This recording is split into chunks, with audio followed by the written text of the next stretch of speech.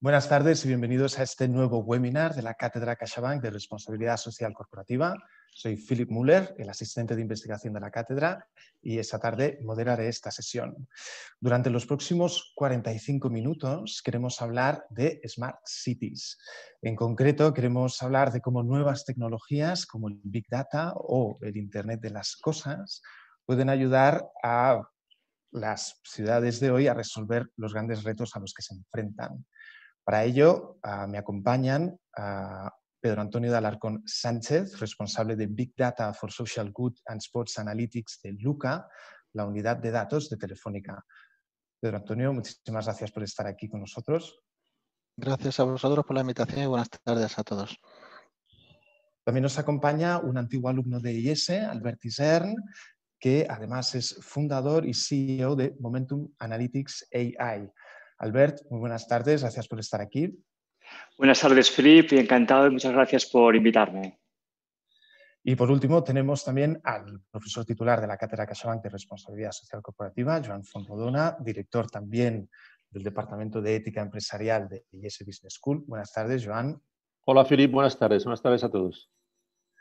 Perfecto. Antes de abrir la mesa redonda y comenzar el debate, me gustaría hacer una panorámica muy breve sobre el contenido del cuaderno que acabamos de publicar desde la cátedra y que en gran medida es el motivo de este webinar.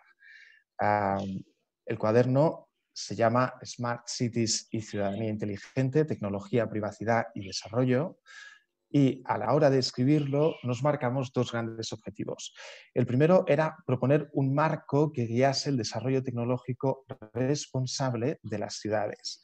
El interés en este objetivo es no partir de la tecnología, es decir, nos interesaba partir desde la ética para llegar a la tecnología, no, no comenzar analizando tecnologías muy novedosas para después añadir un comentario final sobre ética.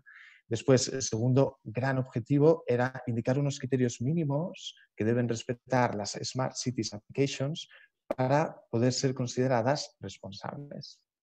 Entonces, para fijar el marco, el marco de desarrollo sostenible y responsable de tecnología urbana, hemos indicado el Objetivo de Desarrollo Sostenible número 11, que se dirige a ciudades y comunidades sostenibles. Este objetivo ah, pretende lograr que las ciudades sean más inclusivas, seguras, resilientes y sostenibles para 2030.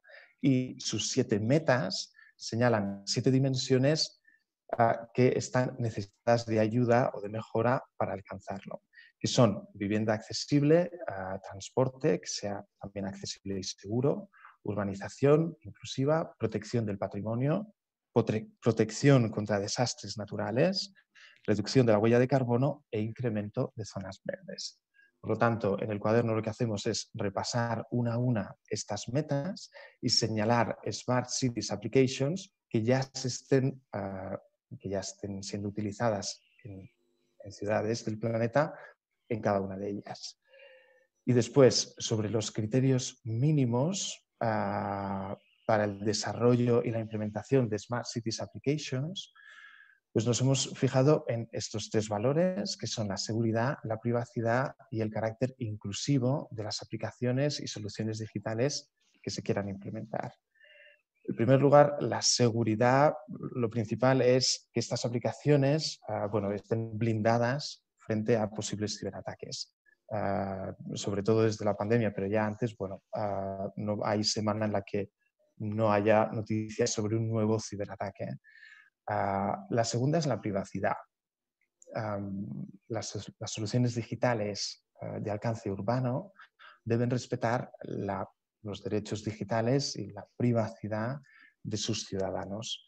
Ah, para ello, en el cuaderno indicamos los siete derechos que consagra la conocida como GDPR, la protección, ah, el Reglamento General de Protección de Datos Europeo.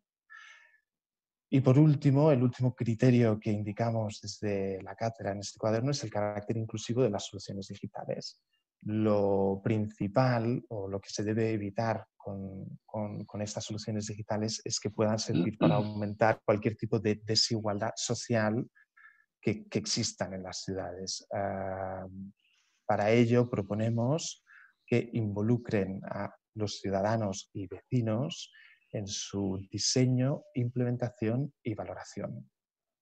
Esto es una, panorámica muy rápida del contenido del cuaderno que a propósito se puede descargar en la descripción de este vídeo, tanto en YouTube como en LinkedIn.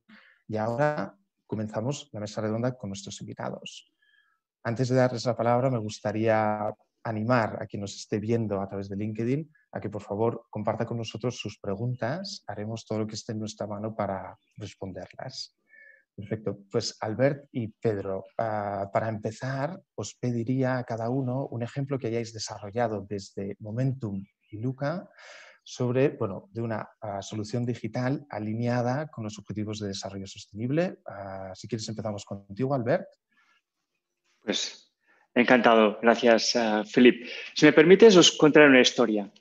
Hace unos años, eh, cuando mi hijo tenía pocos meses de edad, unos seis meses de edad, lo balanceaba por las noches por sus cólicos eh, nefríticos. Yo estaba en el balcón de mi casa, papá con su hijo, a cabo de dos horas, aburrido, balanceando al niño, me puse a mirar a los vecinos y me di cuenta en aquel momento que un vecino perseguía al gato con una linterna. Y pensé, mis vecinos, ¿cómo, ¿cómo se aburren estos vecinos? Al día siguiente, el papá con el niño, otra vez balanceando al niño con sus cólicos, me volví a fijar y me volví a ver al vecino otra vez con la linterna. Al día siguiente me fijé otra vez y lo vi otra vez al vecino con la linterna. En aquel momento me di cuenta, no tenían luz. Vivo en Barcelona, en una de las mejores ciudades del mundo, en el primer mundo, y la pobreza está más cerca de lo que nos podemos imaginar. Gracias al Big Data, podemos correlacionar múltiples fuentes de datos con el objetivo de identificar la población en situación de vulnerabilidad, para que las administraciones puedan ofrecerles las ayudas que ya tienen para este propósito. Los ayuntamientos ya ofrecen ayudas a aquellas personas que lo solicitan y cumplen unos requisitos, ya les conceden estas ayudas. Pero ¿cuánta gente mayor hay que no saben que existen las ayudas? Que no saben cómo se piden, o que por vergüenza no la solicitan. Pero para este reto chocamos frontalmente con las leyes de privacidad. Da igual, podemos trabajar con información estadística, podemos trabajar con información agregada, aportando información de alto valor para los servicios sociales. Ahora los servicios sociales están eh, pidiendo los presupuestos de forma subjetiva. Hacen un gran esfuerzo, un enorme esfuerzo manual para la, elaboración de los, de los presupuestos. Están compitiendo, están luchando con otros departamentos, con otros organismos públicos por el dinero. Y el que, el que más llora, más, más, más mama, ¿verdad? Gracias a las soluciones predictivas, gracias a soluciones basadas en datos, podemos ayudarles hacer el presupuesto para los próximos años de forma objetiva, basado en evidencias. Gracias al Big Data podemos evolucionar de una aproximación paliativa a una aproximación preventiva. Gracias al Big Data cambiaremos el, mundo. ¿Y esto, ¿Y esto cómo lo hacemos? Pues em, explicaríamos que tenemos cuatro grandes grupos de población. En primer lugar, los que de momento, afortunadamente, no tenemos que solicitar estas, estas ayudas. Después habría un segundo grupo de población que las necesitan y ya las están solicitando. Después tendríamos un tercer grupo de, población al que nos dirigimos que serían, necesitarían estas ayudas, pero no las solicitan, que son hasta la fecha invisibles para la administración. Y después un cuarto grupo que sería sin papeles. Estos cuarto grupo ya accederíamos a una siguiente fase, a partir de encuestas. Pues nos centraremos en ese tercer grupo, los que son, como decía, invisibles, entre comillas, para la administración. ¿Y cómo lo hacemos? Pues tenemos eh, una experiencia de más de 20 años analizando la población por tipología de familias, nivel de ingresos del cabeza de familia, número de hijos, si es gente mayor que vive sola, son madres solteras, estamos trabajando con estas bases de datos desde hace más de 20 años, como os decía, para el sector privado, para el sector comercial, para ayudar a las, a las franquicias, a las cadenas de supermercados, cadenas de restaurantes, empresas operadoras, para dónde abrir sus tiendas, para ayudarles a decidir dónde abrir estas tiendas, dónde dirigir su negocio, que la población destino, la población objetivo, la población diana de estas oficinas sea acorde con eh, su, target, su público objetivo de sus, de sus ventas. Con lo cual, la clave del éxito es que estamos reaprovechando una experiencia de éxito en el sector privado, ahora en el sector público, y qué mejor que para ayudar hacer un mundo, un mundo mejor. Entonces, entiendo por lo que dices que estáis utilizando datos con los que ya, que ya tenía la administración para predecir, ah, para hacer visibles, por decirlo así, a, este, a estos ciudadanos que son invisibles y sobre todo para que la administración los tenga en cuenta a la hora de ah, hacer los presupuestos que van así, a eso. Así es, Felipe. Es una suma de muchos datos. Los propios datos que ya tiene la administración a estos datos los enriquecemos en el lenguaje técnico, es que los enriquecemos con esta información que disponemos de las, tipologías de familias que viven por territorio. Tenemos segmentada toda España en celdas de 100 por 100 metros cuadrados, como, como la Champla, en lo cual tenemos información para, para cada una de estas celdas, qué tipología de familias viven pues como decíamos, nivel adquisitivo, número de hijos, para poder perfilar, el concepto de marketing se llama perfilar, tipología familia, imaginaros el gran valor que tiene esto para la administración, que solamente conoce aquellos que ya gestiona, ¿no? aquellos usuarios actuales, pues lo podemos extrapolar a los usuarios potenciales. Y tenemos una realidad, esta mañana escuchaba las noticias, una realidad que es que, nos va a aplastar, y además ahora con el COVID todavía más, esta eh, crisis económica. Esta mañana escuchaba las noticias que el Gran Recapta, está este programa fantástico para recaudar alimentos para, para, por Navidades para, para, la población más, más necesitada, había incrementado este año la previsión un 40%, las peticiones, y que había venido este incremento para quedarse. O sea que estamos en una realidad que nos va, que nos va a aplastar y tenemos que poner todas las medidas para remediarla. Perfecto. Antes de pasar a hablar de COVID y cómo ha afectado el discurso de las Smart Cities, vamos con Pedro. Pedro, ¿qué ejemplo has traído tú desde Luca de solución digital de alcance urbano ah, alineada con los ODS? Muy bien.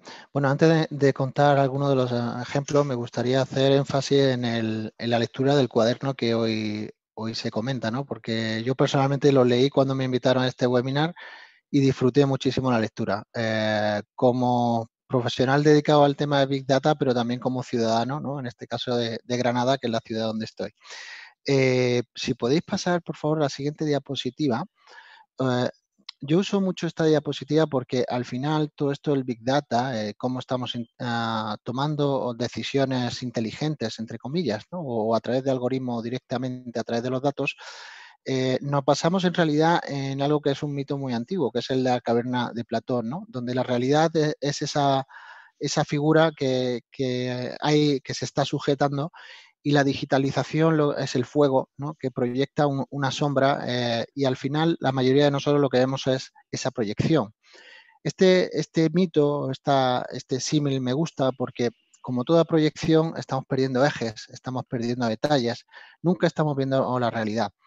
Con lo cual, eh, yo creo que en las ciudades, como en cualquier otra entidad eh, donde viven personas y, se generan datos, lo interesante es poder acceder a las diferentes eh, dimensiones en las cuales un ciudadano o una ciudad puede, puede generar estos datos. El, el proyecto tan bonito que ha contado Albert podría estar en esta primera dimensión de gobierno local, donde los propios registros administrativos que, que ya están funcionando para dar por parte de la ciudad, de, los gobiernos locales, los servicios públicos, eh, hay ya un material ahí a partir del cual se puede generar mucha inteligencia y un mejor servicio al ciudadano.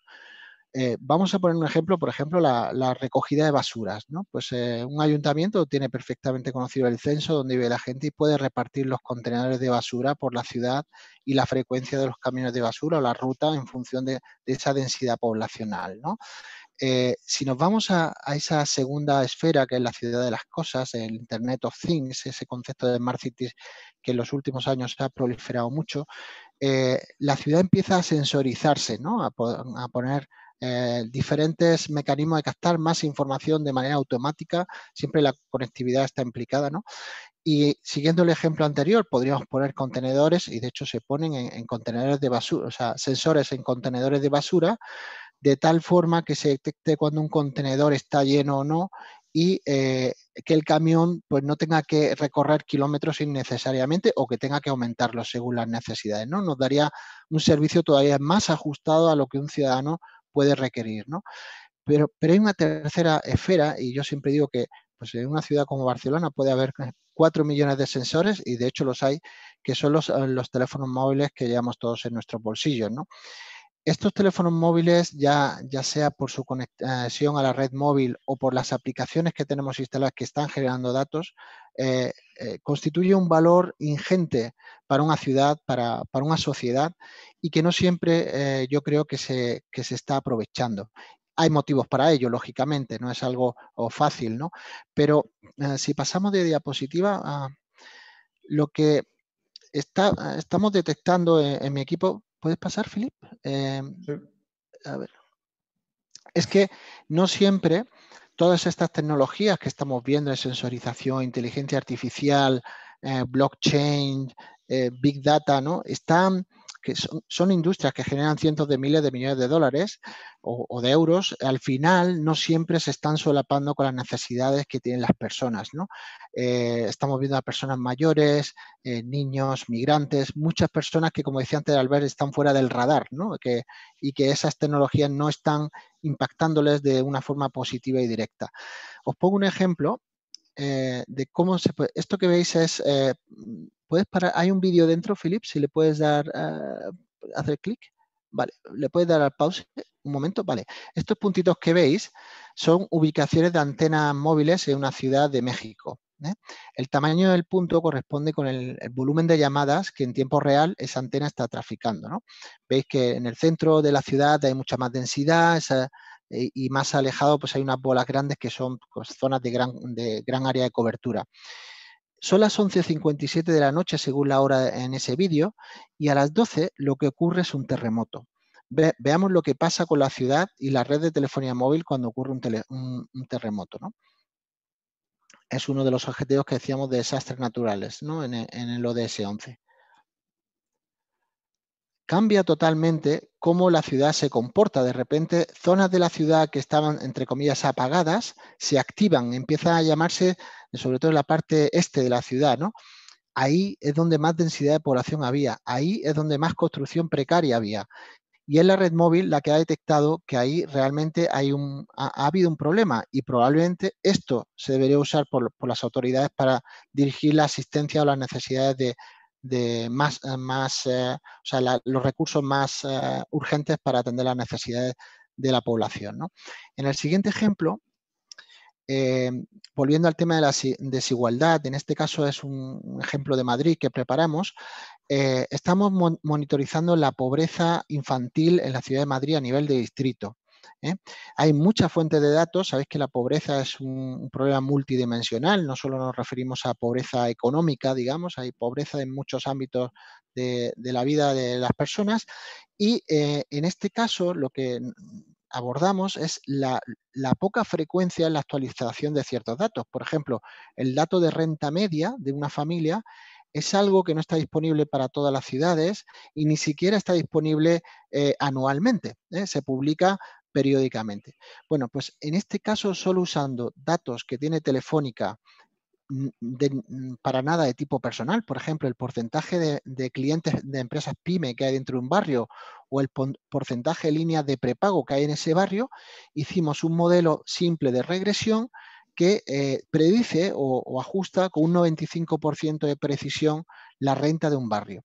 ¿Esto que nos permite? Poder tener mucha más frecuencia y poder llevar ese dato de predicción de renta a sitios donde no hay registros. ¿eh? De tal forma, estamos aprovechando un dato que tiene una empresa privada, en este caso, que no es personal, que es totalmente anónimo y agregado, para dar mejores herramientas de decisión a proyectos como el que comentaba Albert, ¿no? de monitorizar eh, pobreza, desigualdad. Y en el último ejemplo, que ya muy, muy rápido, este es un modelo que creamos para predecir la calidad del aire en la ciudad de Madrid, que como sabéis es la ciudad más contaminada de España. Eh, bueno, el Ayuntamiento de Madrid dispone una serie de estaciones de medida de la calidad ah, del aire fijas, como el Ayuntamiento de Barcelona, por ejemplo, eh, y también hay una serie de sensores en las calles que detectan cuántos eh, vehículos están, la intensidad, digamos, del tráfico. Nosotros combinamos esa, información con la información agregada de los móviles, de cuántos móviles están atravesando una determinada zona, y con todo eso entrenamos un modelo que era capaz de predecir con 48 horas de antelación si iba a haber un pico de contaminación que obligara a cerrar eh, parte de la ciudad o a restringir la movilidad de una ciudad o no. Esto es muy importante de cara a los ciudadanos porque en la actualidad se están dando alertas la noche de antes. Entonces, si tú tienes un plan de día, eh, coger tu coche con tus niños, llevarlos al colegio y de repente te encuentras que no puedes hacerlo, es una disrupción en tu día a día. Por eso las herramientas de este tipo ayudan a predecir, a anticipar lo que probablemente luego se confirmará o no, pero da cierto grado de, o cierta grado de probabilidad y, facilita a los usuarios pues, o a los ciudadanos tomar medidas al respecto. Estos son algunos ejemplos en el concreto caso de eh, ODS 11 y ciudades sostenibles. Por supuesto, hay muchos más que podríamos contar, pero bueno, eh, creo que ya incluso me, he extendido un poco más. Perfecto, no, muchísimas gracias. A profesor Fonrodona, no sé si han salido varias cosas de RSC, no sé, a, raíz de estos ejemplos, ah, ¿se le ha ocurrido algo que añadir y con que redondear los ejemplos? Gracias. Yo ejemplos no tengo. El único ejemplo que tengo es que estoy en una sala eh, que se supone que es inteligente y que se apaga cuando no detecta movimiento. O sea que si se apaga la luz mientras estoy hablando, perdonaréis. Pero aparte de este, de este ejemplo, no, a, mí lo que me venía a la cabeza escuchando a Pedro y, Albert, pues es, es, esto que muchas veces decimos sobre la ética, ¿no? que la ética lo que se orienta es, es hacer el bien. ¿eh? Y, los ejemplos que, nos están poniendo, pues se ve un poco esto, ¿no? Cómo, cómo usar la, la, tecnología para hacer el bien. ¿no? La, la Unión Europea en unas guías que, que están trabajando sobre la ética y la inteligencia artificial, el, principio sobre el que lo fundamentan todo es el principio de la dignidad de la persona humana. ¿eh? Entonces, en la medida en que pongamos a las personas, que pongamos a los ciudadanos, en el caso concreto de las ciudades, en el centro de atención, pues utilizaremos eh, la, inteligencia humana y la inteligencia artificial y los big data pues para ayudar a tanta gente como los casos que nos han puesto Albert y Pedro vamos a centrarnos en algunos de los temas que sale a raíz de los casos. Ah, los dos utilizan Big Data, ah, es decir, datos. y ah, hay bastante gente que tiene miedo con qué supone el uso intensivo o masivo, no sé cómo se dice, de datos para su privacidad la aplicación de tecnologías como el Internet de las Cosas, antes hablábamos de sensores eh, en las mismas eh, papeleras, es decir,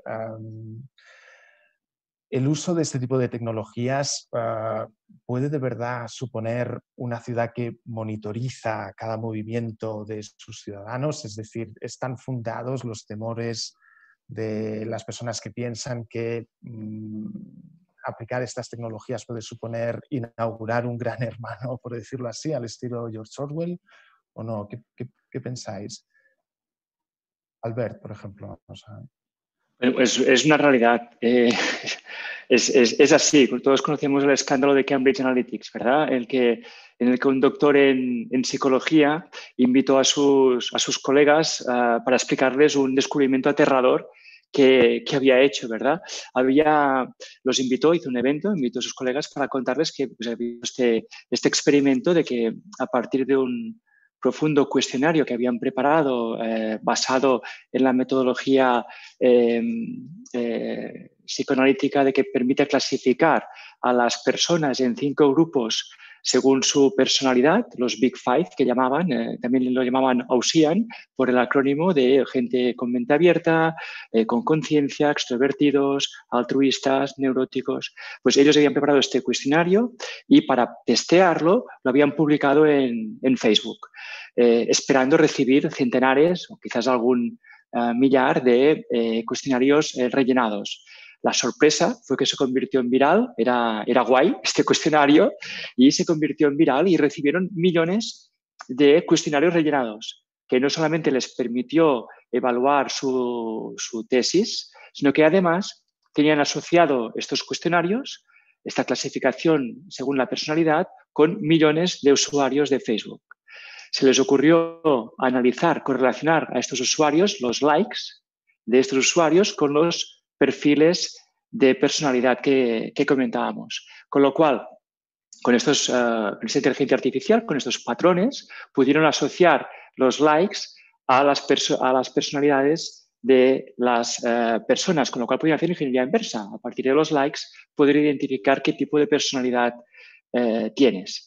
Después de poder desahogarse con sus colegas, llegó al hotel y recibió dos llamadas. La primera llamada eh, le amenazaban con una denuncia por, eh, por eh, entrometerse en la privacidad de las personas.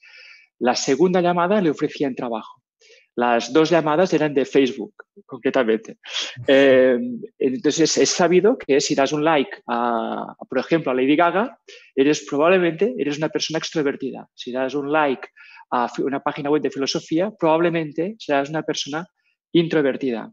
Eh, según una teoría, esta teoría, con 68, 68 likes podemos predecir el color de la piel, la orientación sexual, la afiliación a un partido político, el nivel de inteligencia.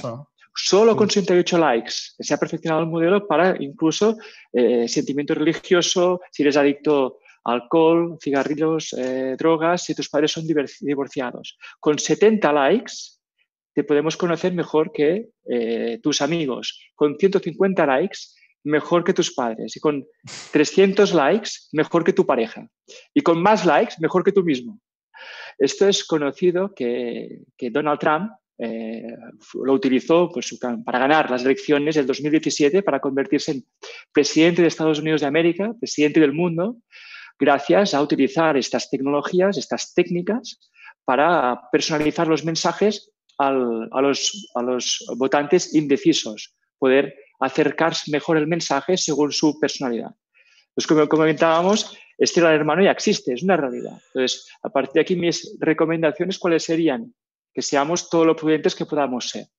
Que no publiquemos información alegremente en las redes sociales. Eh, compartir la localización, fotos del cumpleaños de nuestros hijos, eh, etcétera.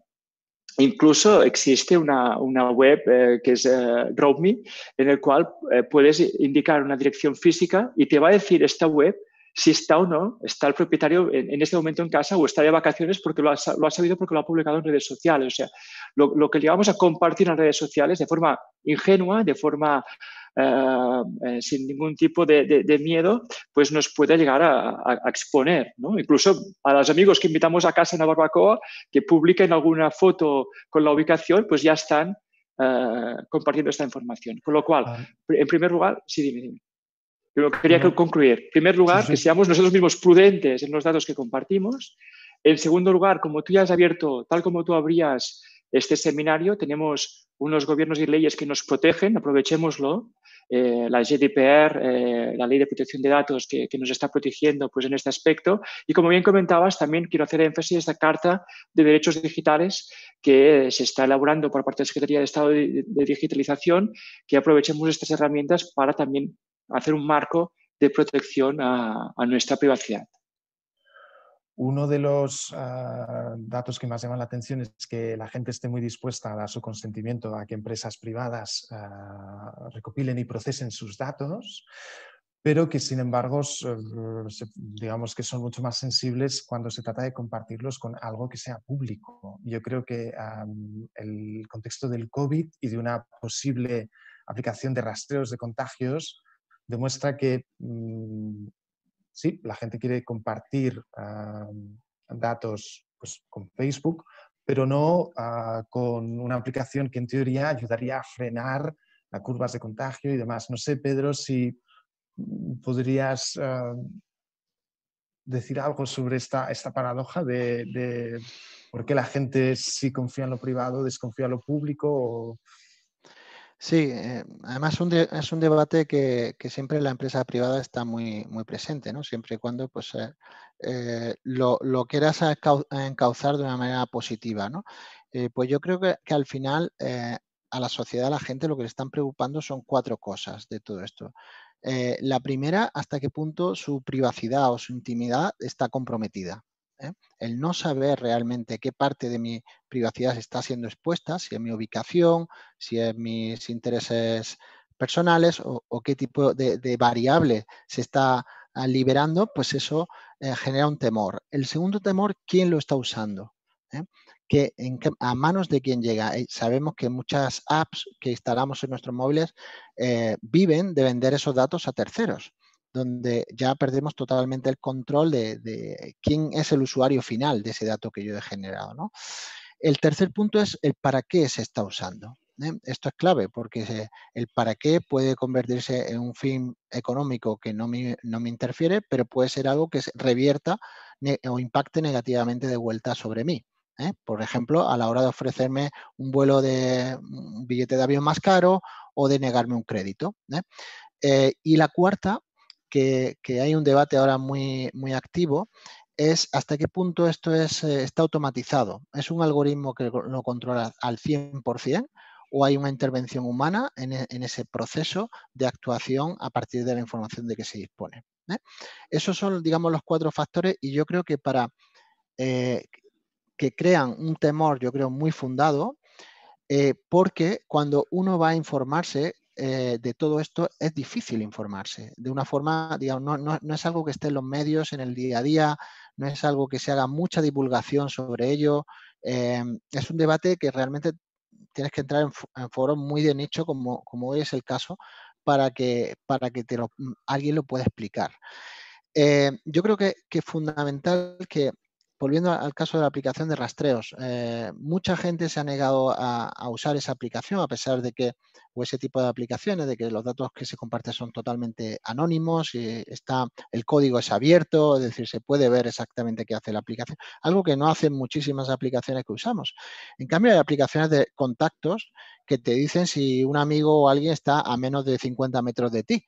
Y, mucha gente está feliz con que le digan eso. Entonces, es la paradoja, es decir, ¿cómo es posible que no queramos que nos informe si alguien positivo en COVID ha estado cerca de mí, pero quiera saber si, si un amigo se está.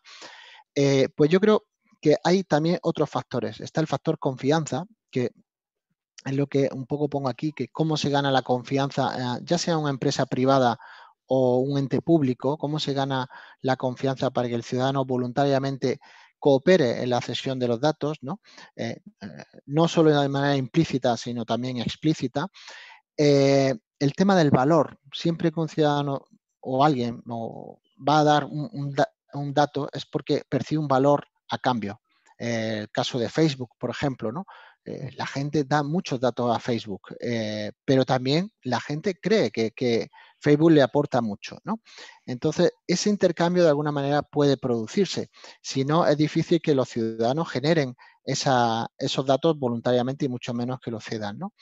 Y por último, eh, yo creo que tenemos que hacer un, punto de confianza en la regulación. ¿eh? Eh, la GDPR fue un punto de inflexión que ha limitado muchos negocios, que ha limitado abusos también y que protege a, los ciudadanos. Estamos en un marco de la Unión Europea que yo creo en ese sentido es de los más proteccionistas del mundo con la información y tenemos que confiar en que este, este asunto se está vigilando estrechamente. No es fácil que una empresa o alguien de software haga un mal uso de los datos. Se puede hacer, como todo, se puede eh, violar la ley, pero es algo en, el que, en lo que yo personalmente tengo confianza y que, que, bueno, hay que trabajar en todas estas dimensiones de, educación, de, lo que llaman digital literacy, ¿no? el alfabetismo digital y todo esto, pero confiemos también que tenemos un marco de convivencia con una regulación que en estos momentos es adecuada para, que estos temores pues, no, se hagan realidad. Perfecto. si me permites, Filip, en este caso del, del COVID, que pueda pues me gustaría explicaros, compartir un caso de uso. Antes. Ya, ya no tan. Y uh, estamos esperando preguntas de LinkedIn y YouTube. No han llegado de momento, pero recuerdo que se pueden hacer y que intentaremos responderlas. Gracias. Estupendo, pues muy, muy brevemente.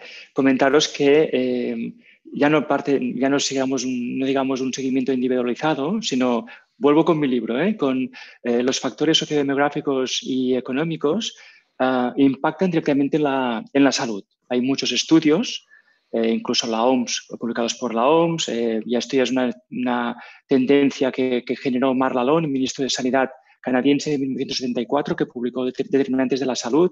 Un 10% de los determinantes, factores que determinan nuestra salud es el sistema sanitario, un 20% son los factores biológicos, nuestro ADN, y el resto son los factores sociales y económicos, medio ambiente, hábitos de estilos de vida, eh, son nuestros factores sociodemográficos. Pues aquí estamos empujando una iniciativa con el doctor José Manuel Picas, eh, que fue director de Organización y Sistemas del, del CLINIC y director de primaria de, de Barcelona y con la Fundación ABD, que tienen 3.000 trabajadoras familiares. Estamos impulsando este proyecto, como os decía, de predicción de la vulnerabilidad. Aquí lo hacemos aterrizándolo en la parte eh, de salud. Como tiene este impacto directo con la salud, la fragilidad social tiene un impacto directo en la salud, podemos ayudar a ser más preventivos para el tema de la epidemia del, COVID. Perfecto. vamos a pasar a, bueno, el hilo conductor del cuaderno es, ah, o la idea detrás de, lo que hemos publicado, es que ah, son los ciudadanos quienes decidan la inteligencia de las smart cities de hoy y de mañana. Y de hecho, muchas de estas tecnologías, ah, el smartphone es un claro ejemplo, el espíritu es que empoderan mucho a las personas que las utilizan. O, la pregunta es, ¿qué, papel juegan empresas como las vuestras en hacer una realidad este mayor protagonismo de, de, los ciudadanos? Es decir, ¿cómo se deben involucrar ¿Creéis que hay espacio para involucrar a la ciudadanía en el desarrollo, en el diseño de estas soluciones digitales? ¿O creéis que sencillamente se les debe consultar? Uh, la pregunta. no sé si... Pues mira, si, me permites, Filipe, me gustaría compartir un, un ejemplo del proyecto Salus, impulsado por, por Joan Guanyavens, el que fue el director TIC de, Sanidad de, Cataluña, en el que busca precisamente esto. Genera pues, de que el propio ciudadano pueda ceder voluntariamente sus datos de salud, evidentemente de una forma totalmente anonimizada, para ayudar a impulsar la, la investigación Imaginaros la potencia de poder eh, utilizar los datos, en el caso concreto de Cataluña, que está todo en un, sistema, en un único sistema de información. Estamos en una situación privilegiada a nivel mundial, que toda la información de detección primaria está en un único sistema de información, con lo cual si podemos ceder la explotación de esta información como decía, con, finalidades de investigación, con finalidades para eh, conocer mejor las evoluciones de las epidemias, conocer mejor eh, el tratamiento de las, medicinas, pues qué potencia, qué ciudadano no se va a, resistir a poder cederlo, teniendo esta contraprestación de que a cambio podrá pues, eh, mejorar el sistema sanitario del, país, con todas las, sensibilidades de que pues esto que, sea evidentemente para utilizarlo con este fin de la investigación. Nos ha entrado una pregunta por LinkedIn ah, de María Pilar Ventosa. ¿Cómo puede utilizarse la inteligencia artificial para predecir comportamientos no éticos? Esto es, ah, es decir, ah, gracias a Big Data se pueden predecir comportamientos ¿Se podría hacer también para la seguridad? ¿Se usa, se usa ya? Ah, ¿Sería ético hacerlo? No sé qué, Pedro, si, se te ocurre algo para responder a esta pregunta, ¿cómo, cómo puede utilizarse la inteligencia? Sí, eh, bueno, eh, primero, y no quiero devolver la pregunta con otra pregunta, habría que definir qué son comportamientos éticos y no éticos. Hay un, un, common understanding, un comprendimiento general de lo que, una comprensión general de lo que puede ser pero según el ámbito, algo que puede ser absolutamente rechazable, pues en otro ámbito eh, puede no serlo. ¿no? Eh, eh, lo, que, lo que es interesante es cómo la inteligencia artificial y su uso aborda primero, el primer desafío que tiene es el no ser, no utilizar datos que están sesgados o que contienen variables que pueden ser sujeto de, discriminación o sesgo. Eh, esto es muy importante y saber cómo funcionan estos modelos de inteligencia artificial. Por ejemplo, un, modelo que asigna a, un sospechoso interrogado por la policía la probabilidad de haber cometido un crimen, pues eh, claro, si dejamos que esto lo haga un algoritmo, pues sería un comportamiento a lo mejor no ético. ¿no? Eh, y tendremos que entender, y, ya hay algoritmos que descifran qué variables se están usando y por qué a esta persona se le está poniendo, o se, explica esa inteligencia artificial por qué está tomando cierta decisión. También se está ah, aplicando inteligencia artificial, por ejemplo, para detectar posibles fraudes o, posibles irregularidades en adjudicación de contratos a nivel de administración pública, analizando pues, redes muy complejas de adjudicaciones, participaciones societarias, sobre todo orientadas al fraude, ¿no? pero también puede ir a, la parte a la parte, digamos, no ética, ¿no? no tanto ilegal como no ética. Eh, pero sigue siendo, ah, sigue habiendo debates muy, muy abiertos, ¿no? Por el, el famoso, el Moral Machine, ¿no? No sé si todos recordáis esa máquina que se entrenaba con lo que la, se le pedía a la gente que, que, diera respuestas a dilemas que se va a encontrar una máquina, por ejemplo, un coche autónomo. ¿eh? En un coche autónomo, imaginad que vais conduciendo y que hay un paso de peatones que están cruzando por un lado un par de, abuelitos y por otro lado dos niños, ¿no?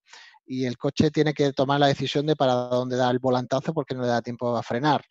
Eh, ¿Qué debería hacer? ¿Hacia dónde debería ir? ¿no?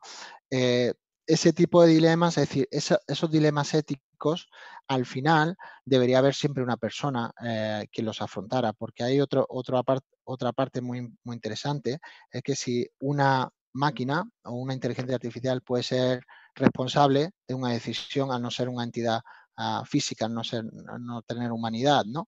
Entonces, eh, bueno, hay que, yo creo que darle a cada, a cada cual lo suyo y ciertos temas que pueden ser muy, muy delicados, pues que no sea una máquina quien, decida.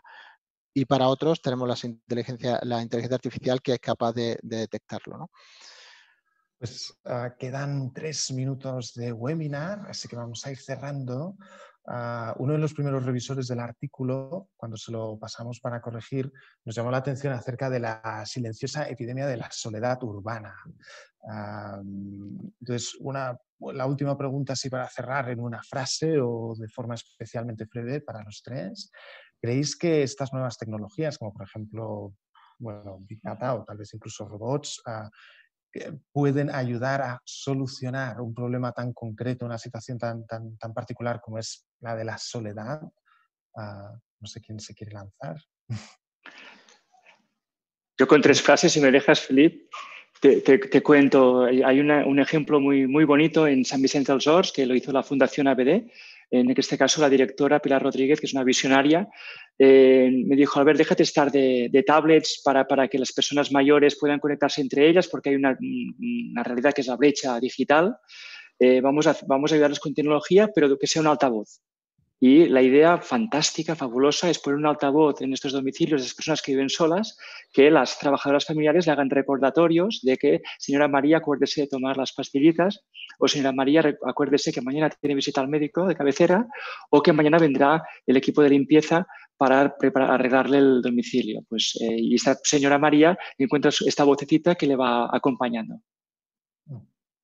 Ah, Pedro, tú Sí, yo diría, bueno, enlazando también con esta crisis que estamos pasando, es que eh, la crisis que ha, agudizado, si cabe más, el problema de la soledad, con centros de mayores que se han cerrado y no pueden pasar su tiempo juntos, con personas confinadas, con residencias totalmente aisladas. Sin embargo, y yo lo veo en mi círculo inmediato, eh, hemos conseguido que, o se ha conseguido que casi a la fuerza muchas personas mayores salten a la tecnología y estén conectados con sus hijos en esos famosos pues brindis virtuales, eh, mi padre usa por primera vez WhatsApp o me comenta un partido de fútbol estando cada uno usando WhatsApp.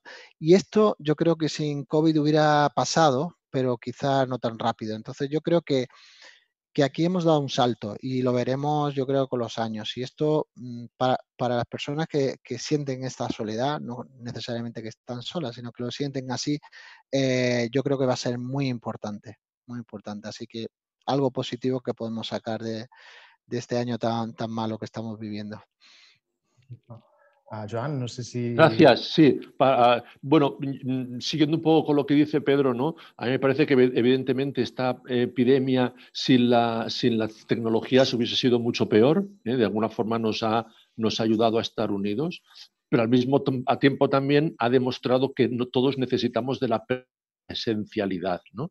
Y que una vida solamente conectados a través de, a través de cámaras no es una vida humana, ¿no?